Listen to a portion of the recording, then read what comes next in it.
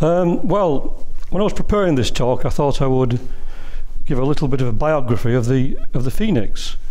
We've heard about the phoenix quite a lot this week, but we, it's, a kind of misty being. So I decided to go up a, a mountain to find a holy man who would tell me something about the phoenix. I climbed up this mountain through all it's snow, ice. It was a terrible journey. I got to the top and there was the holy man sat meditating. I said to him, Please, sir, could you tell me about the, about the phoenix? And he opened his eyes. He said, I know absolutely nothing. Why don't you just Google it? so th- that, that is, that's what I did.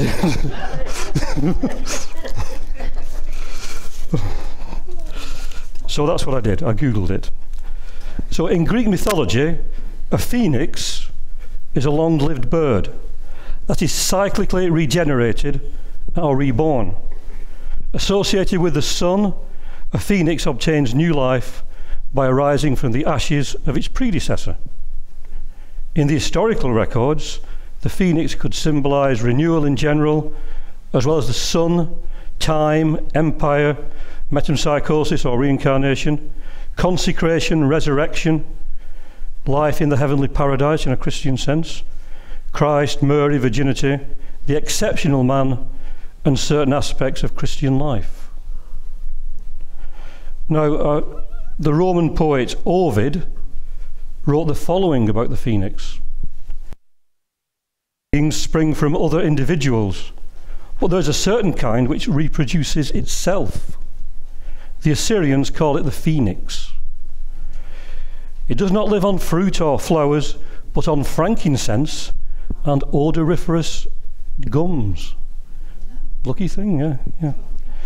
When it has lived 500 years, it builds itself a nest in the branches of an oak or on the top of a palm tree.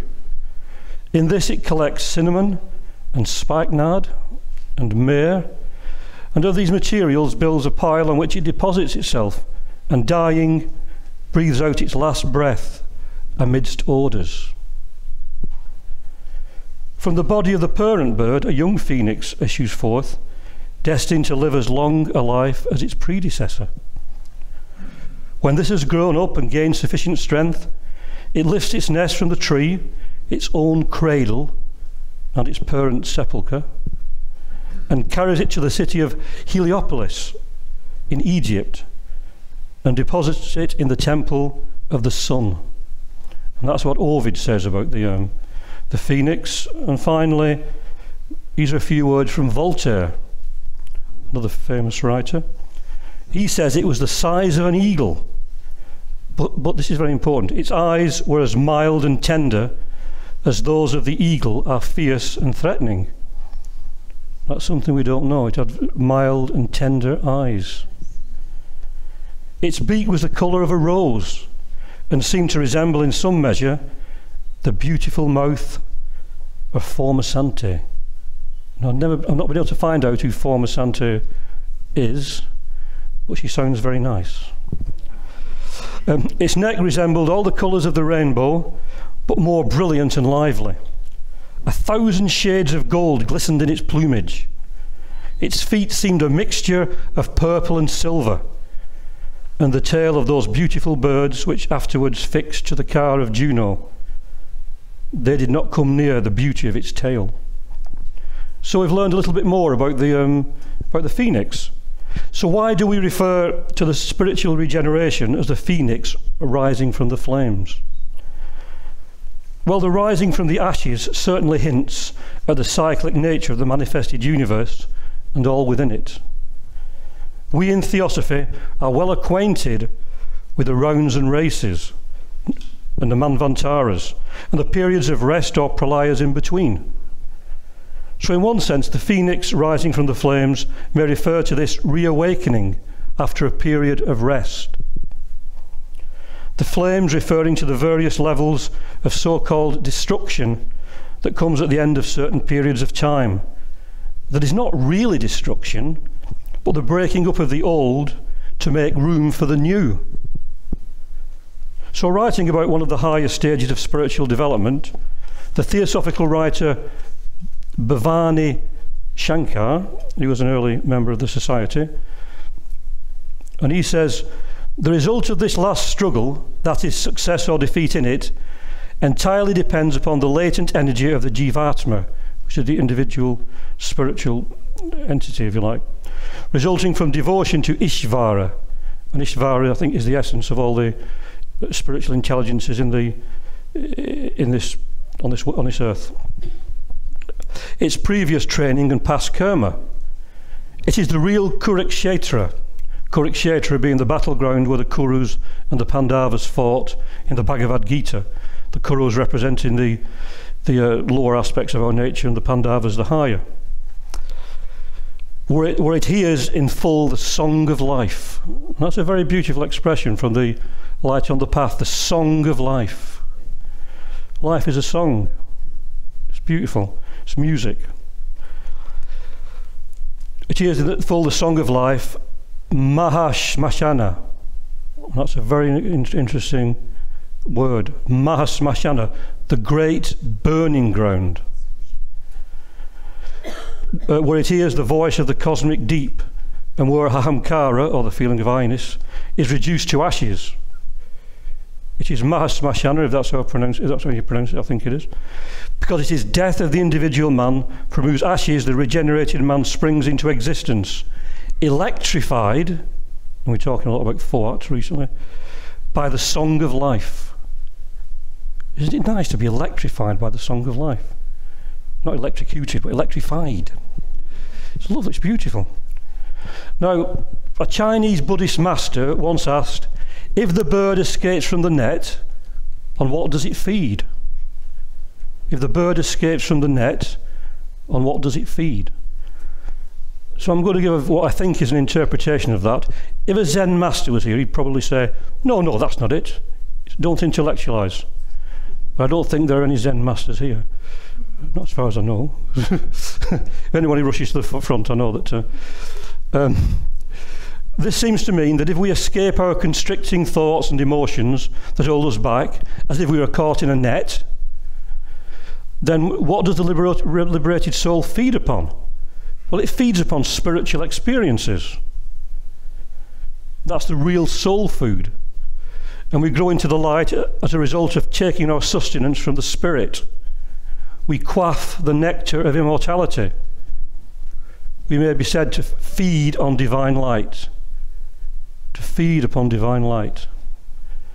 The Bhagavad Gita, Judge's translation says, As the natural fire, O Arjuna, reduceth fuel to ashes, so does the fire of knowledge reduce all actions to ashes. There is no purifier in this world to be compared to spiritual knowledge. And he who is perfected in devotion findeth spiritual knowledge springing up spontaneously in himself in the progress of time. What a beautiful paragraph that is. So, true spiritual knowledge reduces all the actions that trap us in the self made net of our cloying emotions and thoughts to ashes, so that we can fly free like the bird in the endless skies of spontaneous spiritual experience. We rise like the phoenix from the flames of our limitations and our former existence.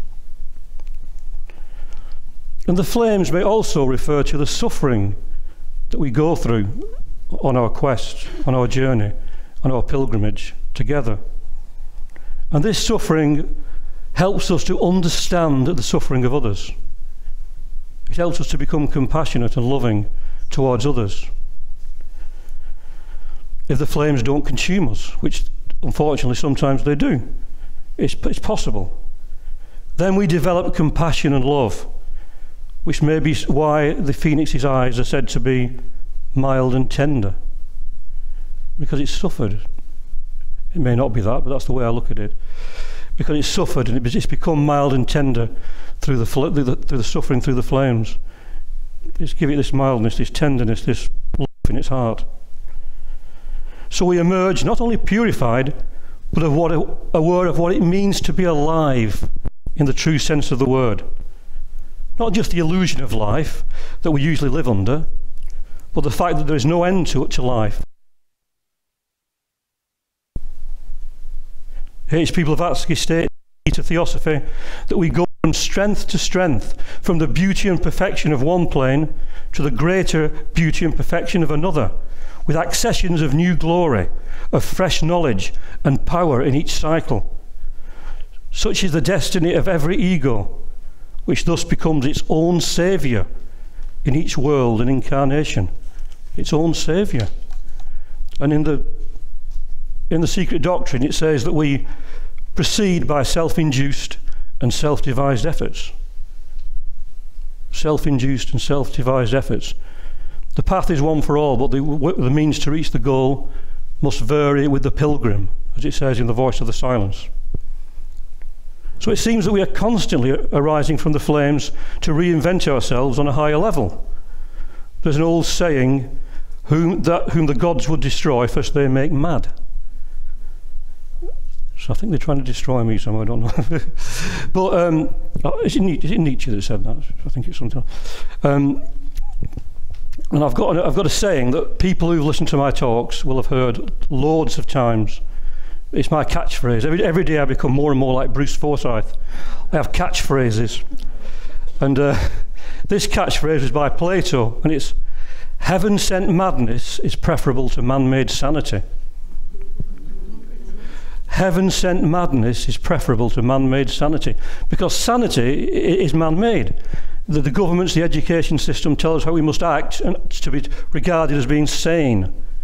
If we act differently, we will be regarded as insane. Um, people who are in, in, in influenced or inspired by divinity or, divi or divine feelings uh, and, and, and uh, inspirations are regarded often as being mad, crazy. So, um, it, so you know, but it's, it, it's not. It's actually total sanity. It's actually the real sanity. It's like Shiva, who is um, exoterically regarded as, as the destroyer, but is the regenerator. He regenerates, also on a higher level.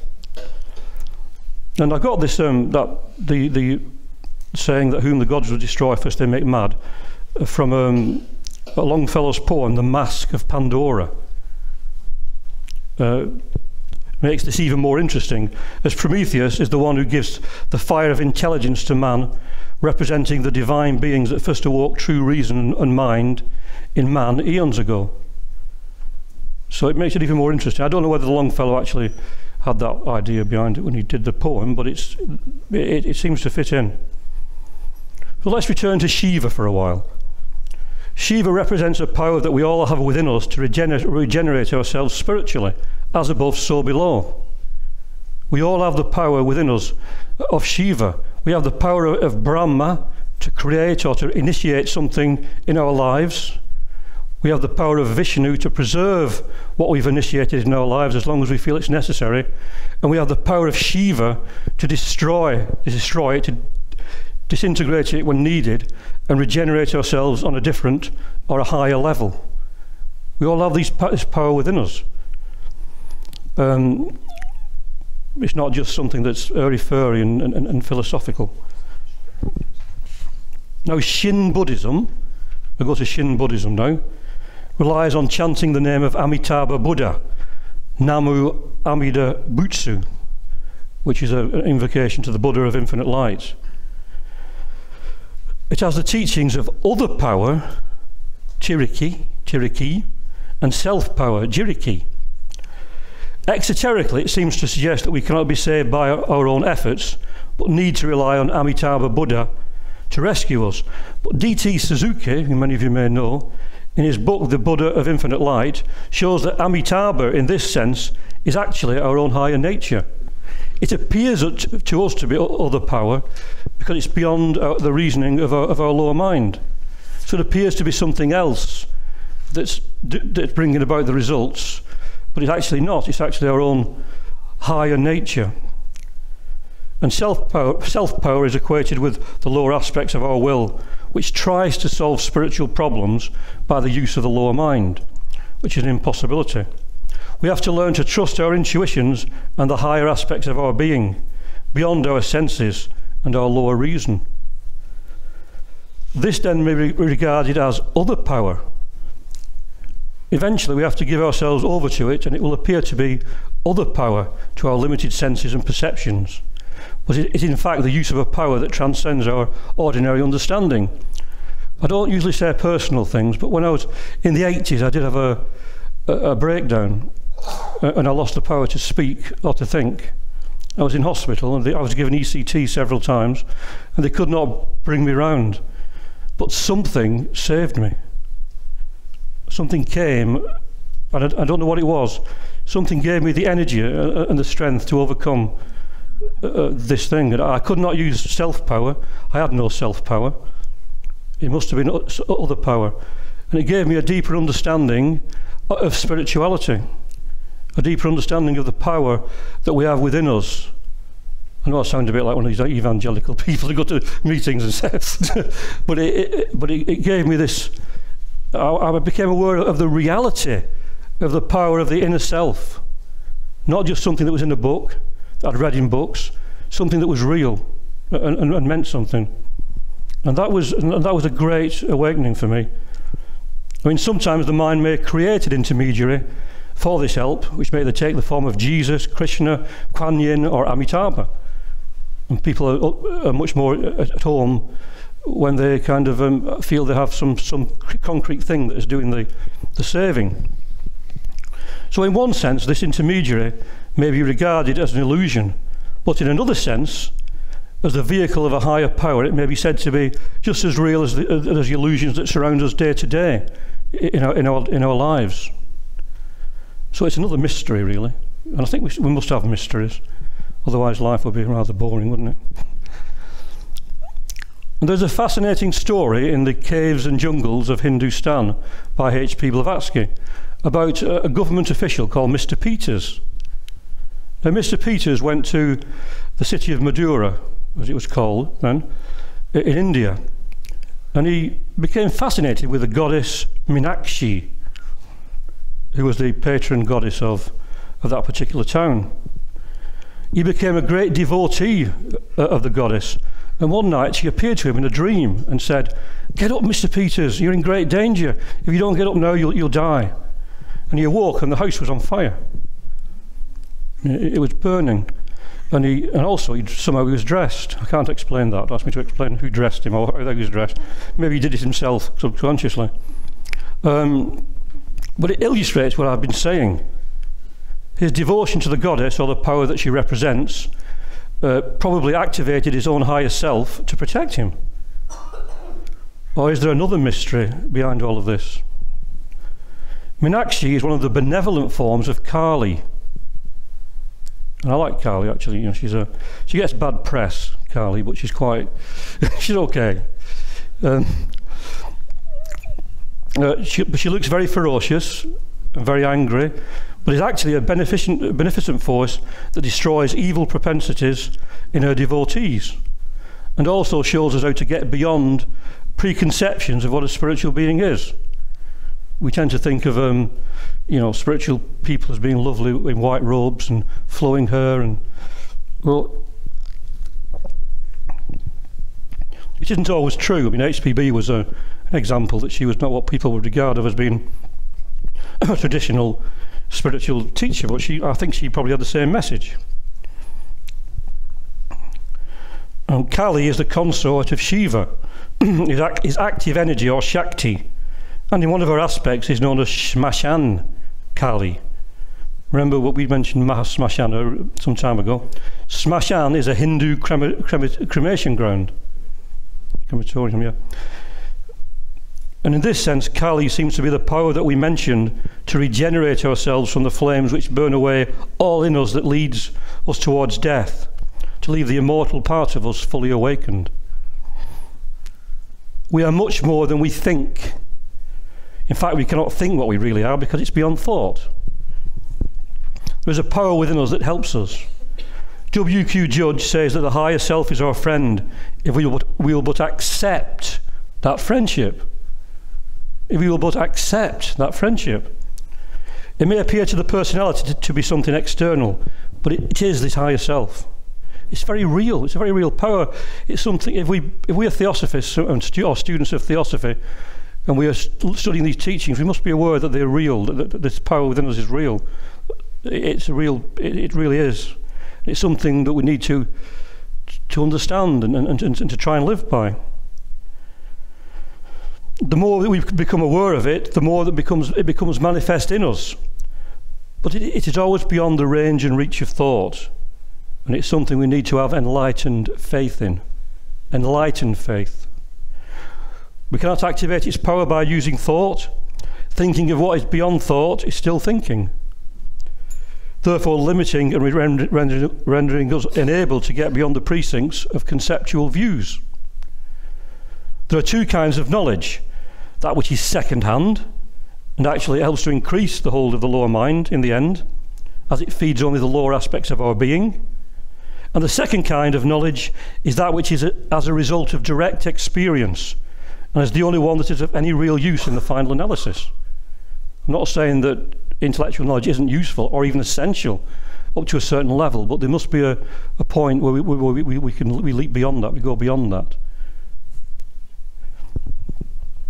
There are also two kinds of faith blind faith based upon what we are told as a result of religious tradition and enlightened faith which comes as a result uh, under uh, an enlightened faith which comes as a result of gaining true experiential knowledge which brings in the operation of other power as mentioned earlier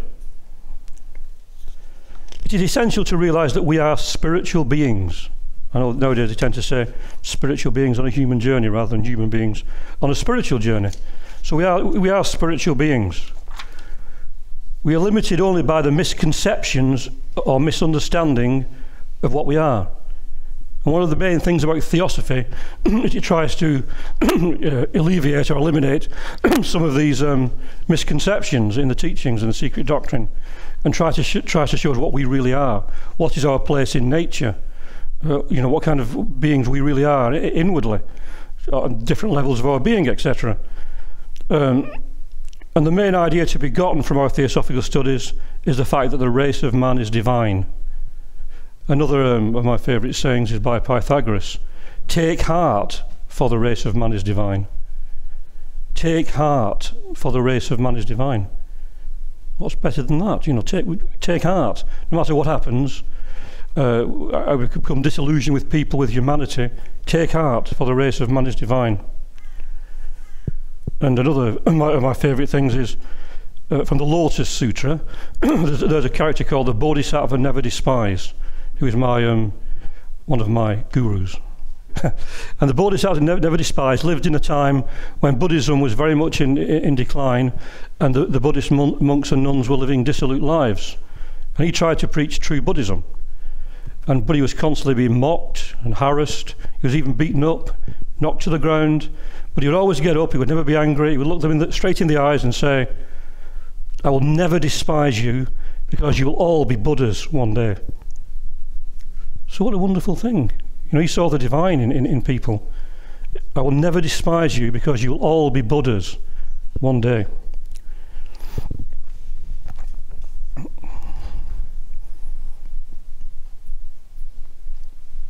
So all, all the great beings have come to tell us exactly th- that, that we are divine beings, and to give us pointers to realizing it. But in most cases, their followers, often unable to fully understand what was being said, allowed the lower intellectual mind to overcomplicate what was said. And so volumes upon volumes of books were written, more often obscuring what was said rather than clarifying it, and full of rules and regulations and ideas from people mainly unenlightened. Religions are man made. The really great souls who came to show us the way to the true light did not found or even mention the founding of religions. Nor did they ever say that spirituality and morality should ever be forced on people by coercion, which leads to rebellion and dissent. It is said in The Secret Doctrine, Volume 2, page 516 the whole essence of truth cannot be transmitted from mouth to ear, nor can any pen describe it, not even that of the recording angel, unless man finds the answer in the sanctuary of his own heart, in the innermost depths of his divine intuitions. That's worth repeating. The whole essence of truth cannot be transmitted from mouth to ear, nor can any pen describe it, not even that of the recording angel, unless man finds the answer in the sanctuary of his own heart, in the innermost depths of his or her divine intuitions. If we are able to get beyond the clouds, we see the sun. The seeming complexity and intellectuality of the secret doctrine is a kind of blind in itself. If we have developed our intuitions to any degree, we see another dimension of teachings growing behind the mask. But the study itself is helping us to develop these intuitions. It's just that we have to be aware of the ability in us to move on, to keep the mind open, to let the light stream in gradually, and not become stranded on some sandbank of thought. We have to go through the words and ideas we formulate ever onwards and upwards until we transcend the binding power of words and images and enter the world of no form, of which all forms are but narrowed reflections, as HPB once, once said. Again, to go back to the secret doctrine, page, uh, 1, page 2. Can the flame be called the essence of fire? This essence is the life and light of the universe. The visible fire and flame are destruction, death, and evil. Fire and flame destroy the body of an arhat. Their essence makes him immortal. The essence of, of the flame, of fire, flame makes him, makes him us immortal. And that's from the Bodhimur, Book 2. And this brings to light a lot, of what, a lot of what we said regarding the phoenix. The divine light is the essence of what on earth manifests as fire. And though the visible fire and flame may destroy the physical, the essence is what enables us to become divine beings and rise from the seemingly destructive properties of heat and fire. This divine light is referred to in the secret doctrine as cold flame. Cold flame. It is the essence and also our true nature when all the lower has been burned away. What causes this fire that burns away all the dross is the friction in our lives. All those happen, things that happen that force us to go within to find the strength to continue like I, when I was, well, I mentioned earlier about when I was in hospital. All the hardships that test our belief in the power of the divine, that strips away all else but the, that faith that comes from our studies and meditations. There comes a time when all that we have gathered from books and lectures, etc., cannot help us. There must be that leap of faith when we discover the reality of all that we have intellectually le learned previously. It will come for all of us in the course of time. It has to be so that we can blossom into what we truly are. It has to become real. The distance between what we, we intellectually understand and its reality in our lives has to be bridged. Otherwise, we will struggle and, we'll be, and maybe st uh, stranded on, on a sandbank of our own making. And it's important not to create a barrier between the words we read and the experience of our day to day lives. If we do study and the words become a kind of escape from reality into a world we, we imagine to be separate and different than the one we live in, we become lost in the divisiveness of what we imagine and what we actually are experiencing. So our studies may fall into the dead letter that kills, and HPB constantly warned us against that. In a letter to the American Convention in 1888, she wrote, Orthodoxy in theosophy is a thing neither possible nor desirable. It is diversity of opinion within certain limits that keeps the Theosophical Society a living and a healthy body, its many other ugly features notwithstanding. Were it not also for the existence of a large amount of uncertainty in the minds of students of Theosophy, such healthy, healthy divergences would be impossible, and the society would degenerate into a sect in which a narrow and stereotyped creed would take the place of the living and breathing spirit of truth and an ever growing knowledge. Ever growing knowledge. so it is against the principles of theosophy as laid down by HPB and the Masters to form any kind of orthodox teaching of theosophy. To regenerate ourselves spiritually, we need to learn how to extract the essence of what is being taught to understand that often the words are often masking what is true, and that we need to develop an intuitive awareness of what the symbology of the words means. Now, the voice of the silence says, Out of the furnace of man's life and its black smoke, winged flames arise, flames purified that soaring onward neath the karmic eye, weave in the end the fabric glorified of the three vestures of the path. I won't go into the three vestures now, we don't really much time, but it's just the idea of this black smoke and the winged flames. So our trials and tribulations should make our hearts, eyes and our hearts mild and tender, like those of the phoenix. And through all our suffering and pain, something beautiful beyond words arises. The alchemy of our whole being into something which words can never and will never encompass. Liu Yiming, in his book Awakening to the Tao, mentions the process of, of Taoist alchemy and writes of setting up the cauldron and stabilizing the furnace. He says, When the cauldron and furnace are stabilized properly, you burn away the acquired habits that, have become compulsive over the course of personal history, thus bringing to light the original state of completeness, slowing off all acquired pollutants. You get it saying the very similar thing. This, of course, is the task of true al- alchemy, changing our leaden lives, well, most of our lives are leaden, no mine is, into an existence of pure gold. You pure gold. And the voice of the silence again states, as regards a very high level of meditation, Thyself and mind, like twins upon a line, the star which is thy goal burns overhead. The three that dwell in glory and in bliss ineffable, now in the world of Maya, have lost their names. They have become one star, the fire that burns but scorches not. That fire which is the upadhi, or the basis of the flame. The fire that burns not, not but scorches not, as we mentioned earlier about the, the cold flame. At the level we are at now, the fires of life, uh, of lust, anger, greed, etc., burn us, but also purify us, so that we can be burned by the cold flame of our spiritual nature that still burns but does not scorch. Is like the parable of the burning house in the Lotus Sutra. And this parable is about a, a, a king who had a, a large house which was falling into disrepair. And one day the house caught fire while his children were inside. He tried desperately to get his children out of, out of the house. He kept saying, Come on, children, come on, children, the house is burning. But they were so taken up playing with their toys that they completely um, ignored him. So eventually he said, he has to think of a way of getting them out of the house. So he, he said, well, come out of the house, children. I've got better toys for you out here, outside. Better toys. Um, if you come out, I'll give you bullock carts with diamonds and gold. And so after he said that, they actually came out of the house. Um, which means that we become so absorbed in our lives that though we've got the fires of old age, um, illness, etc., burning around us, lust, anger, greed, we're so absorbed in our lives that we don't pay attention to to more spiritual things. Um, there's a lot more to it, but I won't again I won't go into that because of time.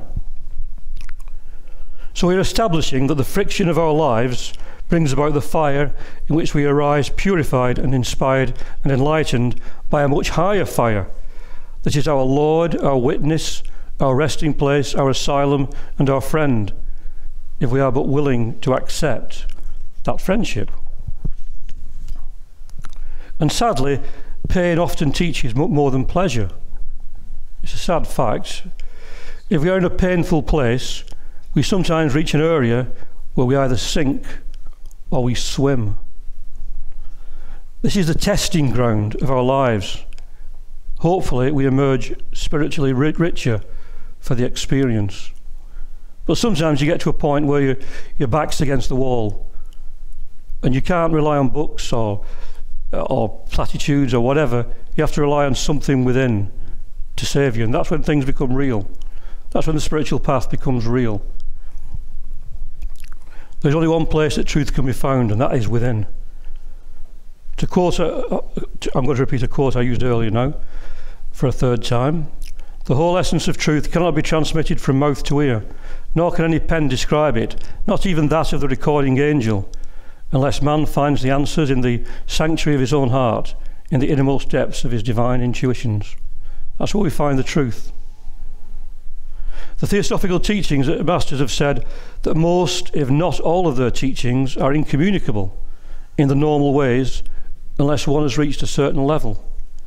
Though we do have the pointers in the secret doctrine and other works, we must not think that because we have grasped the intellectual teachings of theosophy, that we thereby understand what theosophy is really all about.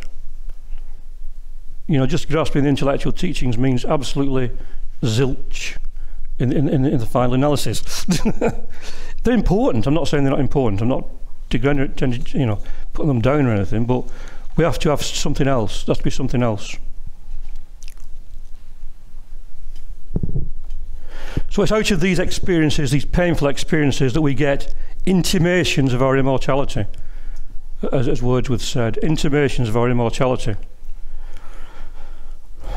It's experiencing. I always another thing I always I use in a lot of talks is the the, uh, the story of the, the strawberry. Unless you put the strawberry in your mouth, you cannot understand the taste of the strawberry. You can go to strawberry lectures. You can read books about strawberries you can you can go to uh, what you can you can do whatever you want. You can, but until you put the strawberry in your mouth, you won't know what a strawberry tastes like. Exactly the same with spiritual experiences. Until you experience them, you won't know what they are. You just it'll just be secondary. So we start to look at life differently when, when we take the spiritual path. And we sometimes we look at the, the, the, the opposite of the man in the street.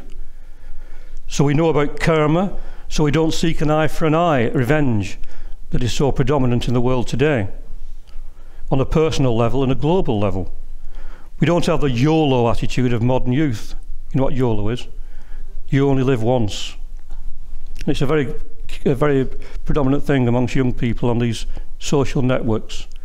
YOLO, you only live once, so that gives a, an excuse for living a hedonistic lifestyle in some cases. Um, and we know about reincarnation, so we take a more relaxed attitude, as long as we don't go the other way, of course, and, uh, and become too complacent. So we seek the middle way. We're also aware that even reincarnation and karma disappear when we transcend the cycle of birth and death, um, on a very high level, of course. HPB says that living this kind of life takes us out of the calculation of the ranks of the living altogether. People in general cannot understand why someone would take the attitude of love your enemies, bless those that curse you, pray for those that despitefully use you, that you may be sons of your Father or your divine, uh, divine life. Why someone would say that hatred does not cease by hatred, hatred ceases only by love. And this is the eternal law. That's what the Buddha says nor why someone may be sympathetic with some of the most hated figures or groups in society, because they may be, understand that there may be reasons uh, that we do not know of that brought them to where they are, and that we may be in the same place or have been in the same place in previous lives. We have trodden the same path to gain experience and understanding of the darker side. And also, if someone's a hated figure, if we send them thoughts of hatred, we're only increasing the hatred in them. How, can you end uh, hatred by, by giving more hatred or more? It's impossible. The only way that you can end hatred is to send love to that person, and hopefully that love will overcome the hatred in them. HPB uh, again says that a true theosophist will never lose faith in human nature. For as I've said, the race of man is divine. So to the, to the man in the street, our attitude will be incomprehensible. If someone does something wrong, they must be punished, is the accepted way to think. But that can improve someone, like I've said. And uh, uh, as I said earlier, if we take this attitude of love your enemies, in modern society we may be regarded as being insane. And isn't that strange? That people should regard loving someone as being insane.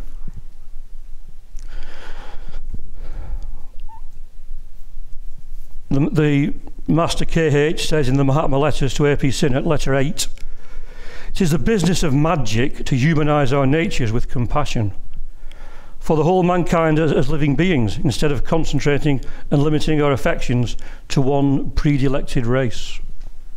Yet few of us, except such as have attained the final negation of moksha, or enlightenment, can so enfranch ourselves from the influence of our earthly connections as to be insusceptible in various degrees to the higher pleasures, emotions, and interests of the common run of humanity. Until final emancipation reabsorbs the ego, he must be conscious of the purest sympathies called out by the aesthetic effects of high art, its tenderest chords respond to the call of the holier and nobler human attachments. Of course, the greater the progress towards deliverance, the less will this be the case, until to crown all, human and purely individual personal feelings, blood ties and friendship, patriotism and race predilection, all will give way to become blended into one universal feeling, the one true and holy, the only unselfish and eternal, one love, an immense love for humanity as a whole.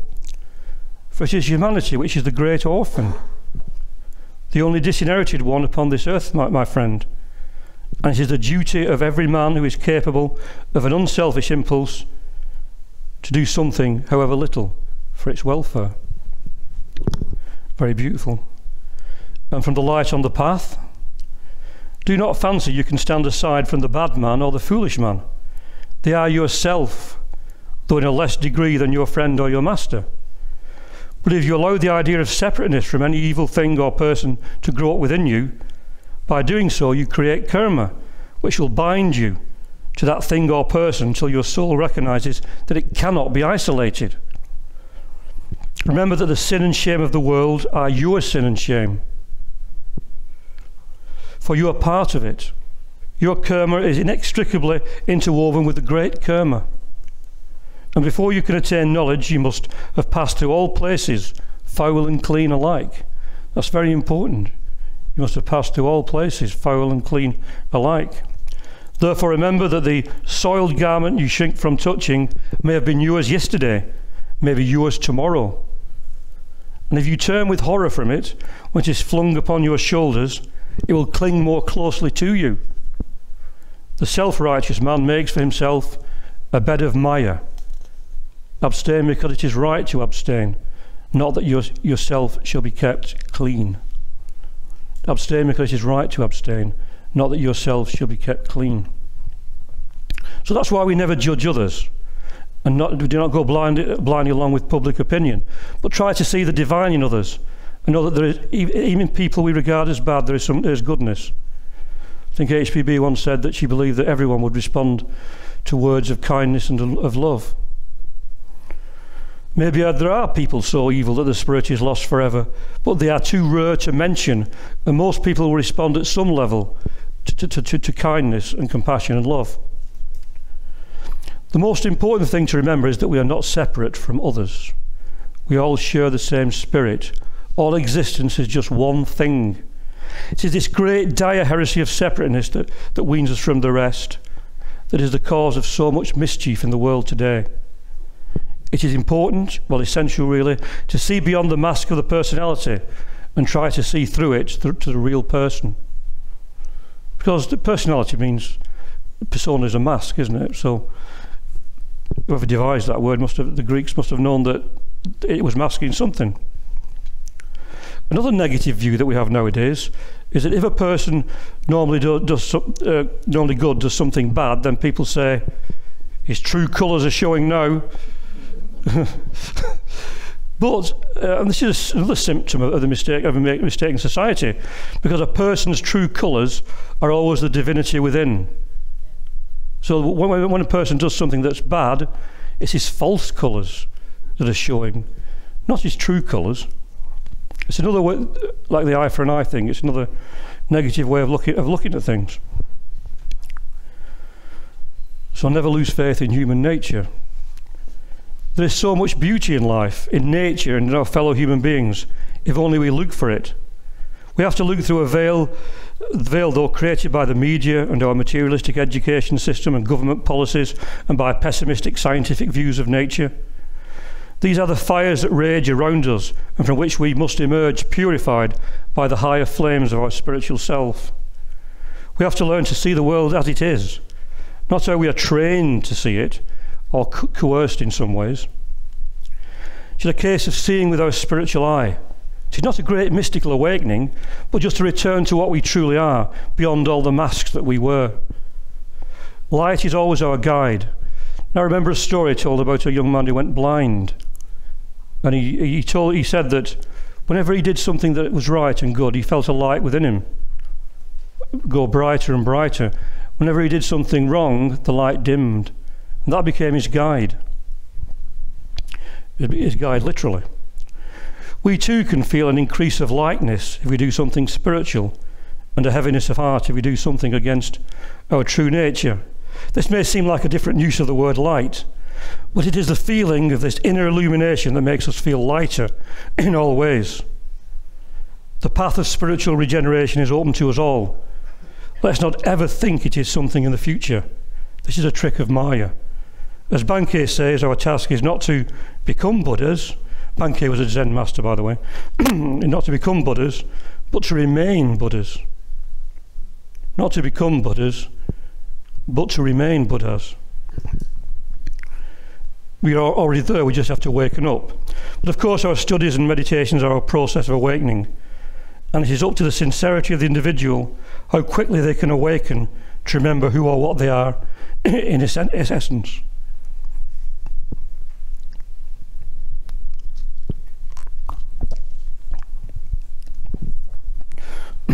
Our theosophical books are there to help us to wake up.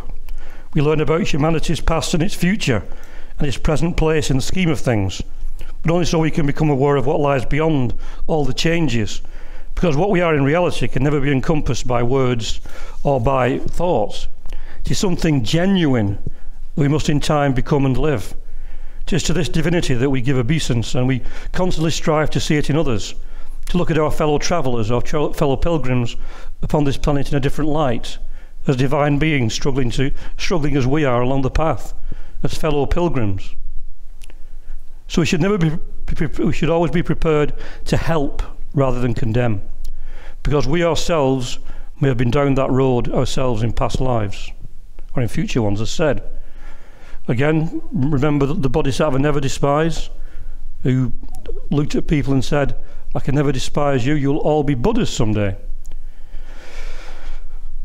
So let's try to emulate that attitude in our daily lives and try to see the divine in all, so that we shall rise like phoenix phoenixes from the flames of misunderstandings to see humanity as it is, with all its potential and its spiritual beauty.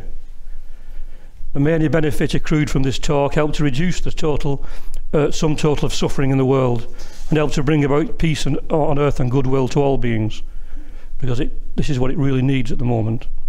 Thank you.